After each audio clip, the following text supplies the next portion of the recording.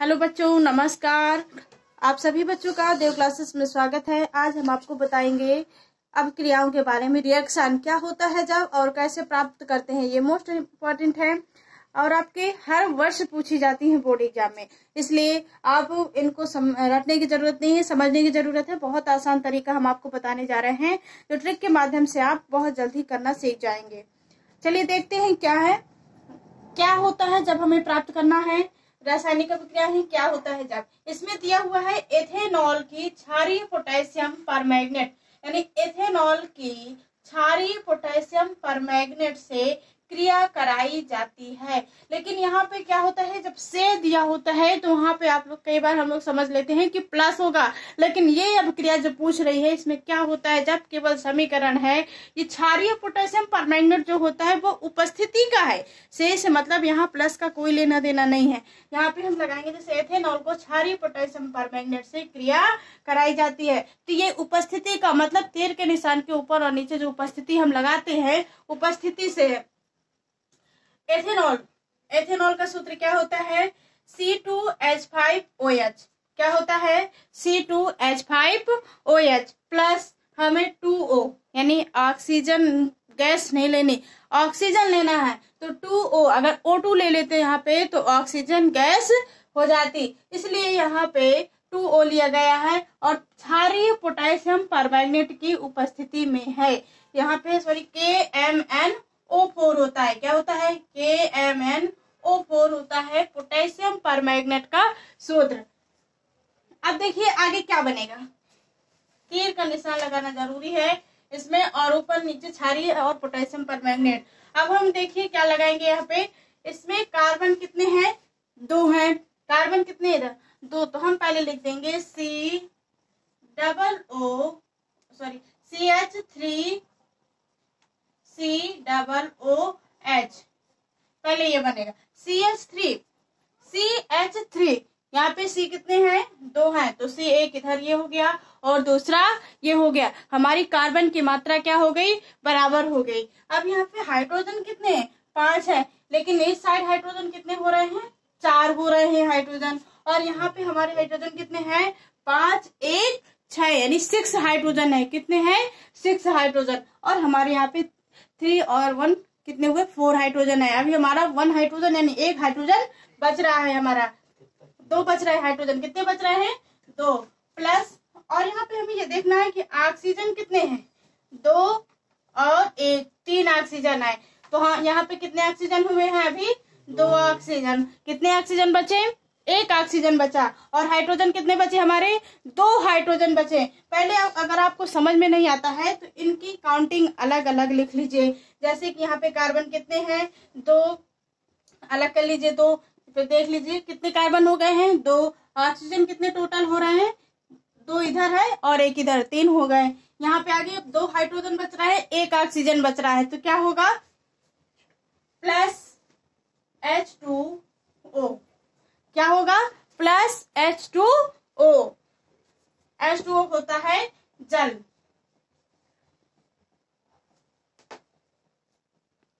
और आपका ये है एसिटिक अम्ल क्या है? एसिटिक इससे क्या होगा? आपको सूत्र भी याद हो जाएँगे। एसिटिक अम्ल। और ये आपका जल रहा। और C two H five O H है जो ये एथेनॉल यानी एथिल एल्कोहल का सूत्र है।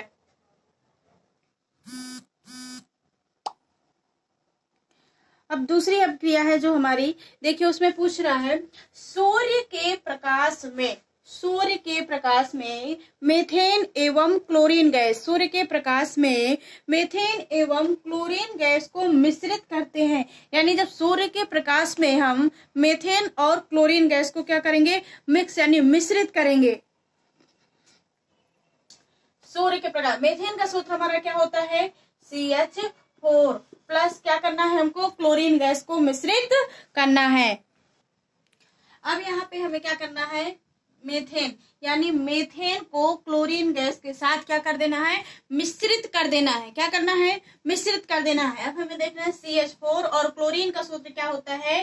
सी एल टू अब हम इसको सूर्य के प्रकाश के उपस्थिति में, यानी सूर्य के प्रकाश में क्या कर देंगे? मिश्रित कर देंगे। तो हम यहाँ पे आगे टू लगा देंगे। तो यहाँ पे हमारा सिर्फ़ कार्बन कितने हैं? एक है। तो हम इस कार्बन को अलग कर देंगे। प्लस नवजात कार्बन। जब यहाँ पे टू और थ्री सीओ टू कुछ नहीं लगा होता है तो इसको क्या बोलते हैं? नवजात कार्बन।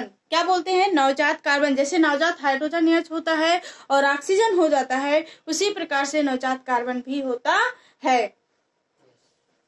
अब देखिए इधर क्या बच रहा है। हमारे पे हाइड्रोजन कितने हैं? फोर और सीएल कितने हैं? फोर, क्योंकि जब नीचे वाली संख्या का, सामने वाली संख्या से हमेशा क्या हो जाता है? गुणा हो जाता है। तो दो दूनी चार, यानी कितना हो गया?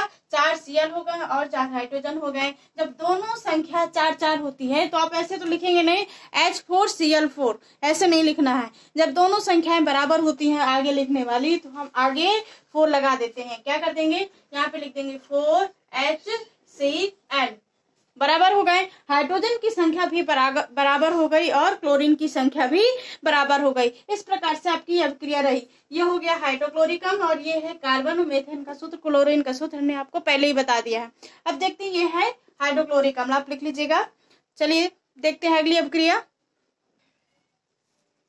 यहाँ पे क्या है? अगली अभिक्रिया है, मेथेन का दहन कराया जाता है। अभी हमने आपको जो अभिक्रिया बताई थी, उसमें क्या था? मेथेन को क्लोरीन गैस से मिश्रित करना था। क्या करना था? मेथेन को क्लोरीन गैस से मिश्रित करना था। अब हम आपको जो अभिक्रिया बताने जा रहे हैं, उसको मेथेन का दहन करना है। क्या करना है? मेथेन का दहन। देखिए, मेथेन का दहन कराएँगे। मेथेन का सूत्र क्या होता है? सी एच फोर अभी हमने आपको ऊपर भी बताया था मेथेन का सूत्र क्या होता है? सी एच फोर सिर्फ़ मेथेन का दहन कराना है। इसमें दिया हुआ है मेथेन का दहन कराना है। मेथेन का सूत्र क्या होता है? जैसे कि हमने आपको लिख दिया सी एच फोर अब हमें क्या लिखना है? सी एच फोर लिख दिया है। दहन। दहन का मतलब होता है जलाना, जलना। ऑक्सीजन के साथ ऑक्सीजन क्या है? ऑक्सीजन का सूत्र क्या होता है? ओ टू क्या होता है? O two plus O two फिर हम इनका दहन करा देंगे तो यहाँ पे हो जाएगा टू ओ टू लगा देंगे क्योंकि सिर्फ़ ओ टू से कुछ अभिक्रिया नहीं बन पा रही है। जब हल नहीं होती अभिक्रिया तो वहाँ पे हम टू या थ्री फोर लगा देते हैं। तो यहाँ पे क्या लगाना है हमको? टू लगाना है। अब देखते हैं आगे क्या बनेगा। सी एच फोर यानी C O two carbon dioxide बन गया। क्या बन गया? यहाँ से हमने कार्बन लिया है और यहाँ से ओ टू ले लिया है। तो क्या बन गया? कार्बन डाइऑक्साइड अब आगे क्या होगा? देखिए, इसमें क्या बच रहा है? सी ओ टू हमने कार्बन डाइऑक्साइड बना दिया। प्लस बच्चों, आप सोचिए क्या बनेगा। दो सेकंड सोचने का टाइम दे रहे हैं हम। आप कमेंट्स के माध्यम से बताइए कि क्या बनेगा। अब हमारा यहाँ पे क्या बनेगा? क्या बच रहा है? एक कार्बन था तो हमने रख दिया। यहाँ पे ऑक्सीजन कितने थे अभी हमने आपको बताया था। क्या कर दिया जाता है? गुड़ा दोनों संख्याओं का। तो चार ऑक्सीजन हुए। तो ऑक्सीजन चार थे। हमने यहाँ पे ऑक्सीजन कितने लिए हैं? दो ऑक्सीजन लिए हैं। अब क्या बच रहा है? हाइड्रोजन कितने हैं? चार है। और ऑक्सीजन कितने हैं? दो। तो हम यहाँ पे लिख देंगे प्लस एच टू ओ लेकिन यहाँ पे अभी ना ऑक्सीजन की मात्रा बराबर हुई, ना ही हाइड्रोजन की मात्रा बराबर हुई। तो हम क्या लगाएँगे? टू लगा देंगे। टू लगा देंगे तो दोनों की संख्या बराबर हो जाएगी टू ऑक्सीजन, यानी दो ऑक्सीजन हो जाएँगे। और हाइड्रोजन कितने हैं? चार तो दो दूनी चार, हाइड्रोजन हो जाएँगे। ये अब क्रिया आपकी क्या हो गई? संतुलित हो गई। क्या हो गई अब क्रिया? संतुलित हो गई। सिर्फ़ इसमें समीकरण पूछते हैं। आसान बहुत है, समझने का प्रयास करिए। बहुत अब क्रिया आसान है। और जिन जिन बच्चों ने अभी नए हो तो सब्सक्राइब कर दीजिए।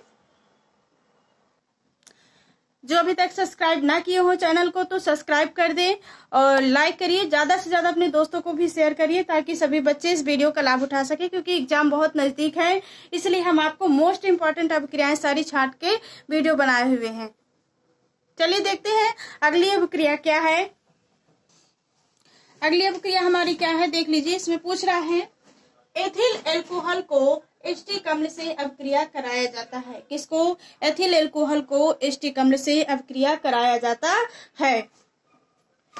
Ethyl alcohol. एथिल एल्कोहल का सूत्र क्या होता है? C two H five O H अभी हमने पहली अभिक्रिया में भी बताया था कि एथिल एल्कोहल का सूत्र क्या होता है? C two H five O H plus acetic अम्ल एस्टिक अम्ल का सूत्र क्या होता है? अभी हमने ये भी पहली अभिक्रिया में बताया है। क्या होता है? C H three C double O H अब हमको अभिक्रिया कराना है तो यहाँ पे हम सांद्र एच टू एस फोर की उपस्थिति में कराएँगे किसके?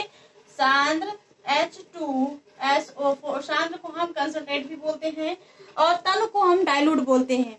सांद्र को कंसनट्रेट बोलते हैं, और तन को डाइल्यूट बोलते हैं। Dilute H two S four concentrate H two S four अब देखिए इसमें हम क्या बनाएँगे आगे?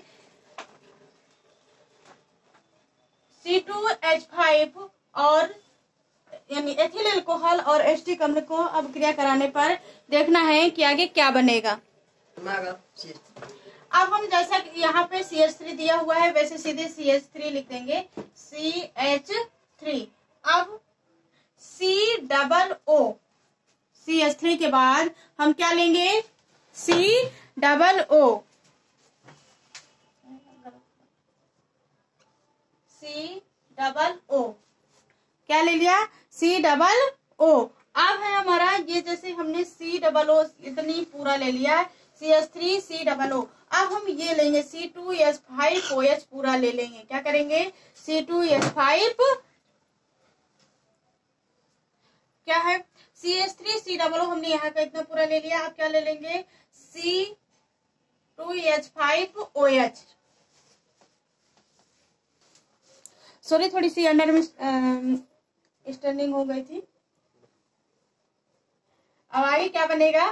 C S three C double O ये हमने यहाँ का ले लिया, अब क्या लेंगे? C two H five ethyl क्या ले लेंगे? C two H five ethyl ले लिया। अब आगे देखना है प्लस आगे क्या बन रहा है? क्या बच रहा है सब क्रिया में? एक हाइड्रोजन ये बच रहा है और एक हाइड्रोजन ये बच रहा है। कितने हाइड्रोजन बच रहे हैं? दो हाइड्रोजन बच रहे हैं। तो यहाँ लिख देंगे प्लस एच टू और हमें देखना है ऑक्सीजन कितने बच रहे हैं। ये एक ऑक्सीजन हमारा बच रहा है तो यहाँ पे ओ लगा देंगे, यानी जल बन जाएगा। ये हो जाएगा एथिल एल्कोहल से और स्टिक अम्ल से अब क्रिया कराई जाती है, ये इसका उदाहरण होगा। चलिए अब देखते हैं अगली अब क्रिया क्या होगी।